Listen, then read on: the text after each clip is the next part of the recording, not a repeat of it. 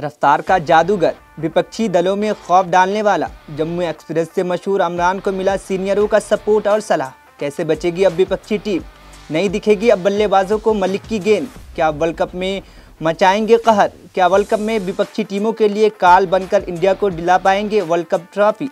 दरअसल बात यह है कि सबसे तेज गेंदबाज जिसने कभी इंडिया टीम के लिए खेला करते थे, जिसने कभी विपक्षी टीमों की नींद उड़ा दिया करती थी। अब इमरान के लिए बड़ी बात कह दी है। लंबे कद के तेज गेंदबाज ईशांत शर्मा ने मलिक को सलाह दी है।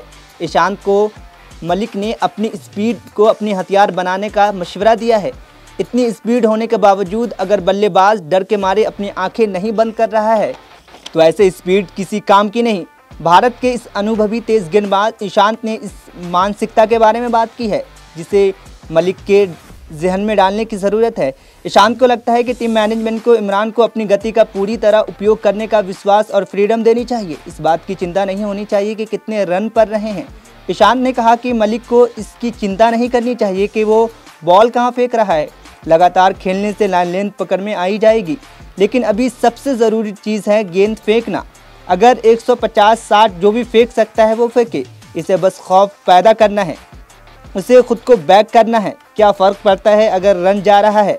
तेरा काम रन को रोकना नहीं, बल्कि बल्लेबाजों को खौफ दिखाकर विकटें हासिल करना है। ईशांत ने आगे कहा कि इस तेज़ गेंदबाजी का क्या फ़ायदा, जब बल्लेबाज डर के मारे अपनी आँखें नहीं बंद कर लेते।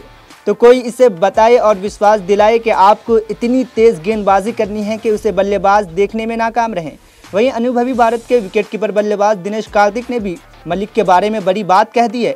उन्होंने कहा कि 2023 के वनडे विश्व कप में इमरान को टीम में होना चाहिए। उन्हें ये सीखने की ज़रूरत है कि पुराने और नए गेंद से कैसे गेंदबाजी की जाती है, क्योंकि भारत को इससे पहले कभी इस तरह का गेंदबाज नहीं मिला। मुझे वास्तव में जो पसंद आया, वो ये है कि उन्होंने लाइन लेंथ पर काम किया है, क्योंकि जब कोई इतनी तेज़ रफ्तारी से गेंद करता है तो मुश्किल हो जाता है कि सही लाइन लेंथ पर गेंद कैसे फेंका जाए।